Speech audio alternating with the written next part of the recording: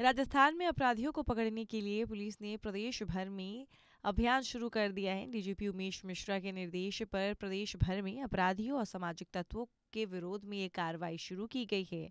ये जो अभियान है, वो तीन दिन तक चलने वाला है। पुलिस अधिकारियों के अनुसार सभी जिलों में पुलिस की टीमों को भेज दिया गया है। एडीजी क्राइम दिनेश एमएन की निगरानी में प्रदेश भर में तीन दिवसीय तक ये अभियान चलने वाला है।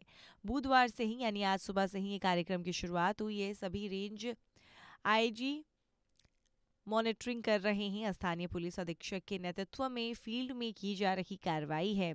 आर्म्स आबकारी व एनडीपीएस एक्ट एचएस हार्डकोर अस्थायी वारंटी, इनामी व जखनीय अपराधों में वांछित असामाजिक तत्वों के विरोध में ये कार्रवाई की जा रही है। सोशल मीडिया पर गैंगस्टर को लाइक, कमेंट व फॉलो करने वालों के विरोध में भी कार्रवाई की जाने वाली है। इसमें पहले 25 दिसंबर को कोटा पुलिस ने एक ही दिन में ताबड़तोड़ कार्रवाई कर 106 सक्रिय बदमाशों को गिरफ़्तार किया था। पुलिस की इस कार्रवाई में पकड़े गए बदमाशों में से एक के ऊपर 25 लाख का इनाम घोषित था। वहीं इनमें कई हिस्ट्री शीटर्स भी शामिल हैं। इनको पकड़ने के लिए कोटा पुलिस के 250 से अधिक अधिकारियों और जवानों ने शहर सहित आसपास के इलाकों में ताबड़तोड़ तलाशी की और जाकर के बदमाशों को पकड़ लिया गया।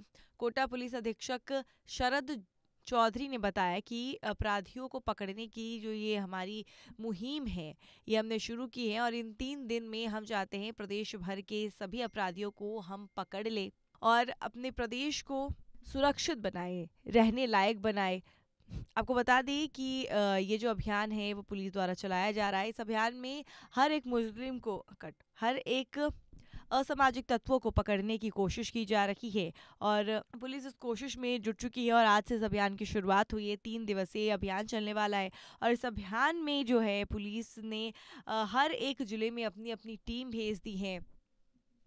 और वो हर टीम जो है, वो इसी कार्य पे काम कर रही है कि किसी भी तरह से प्रदेश में सभी जितने भी ऐसे क्रिमिनल्स हैं, उनको पकड़ा जाए, उनको पुलिस उनको सलाखों के पीछे भेजा जाए और प्रदेश में जो क्राइम का टैग लग चुका है राजस्थान में, उसको हटाया जाए।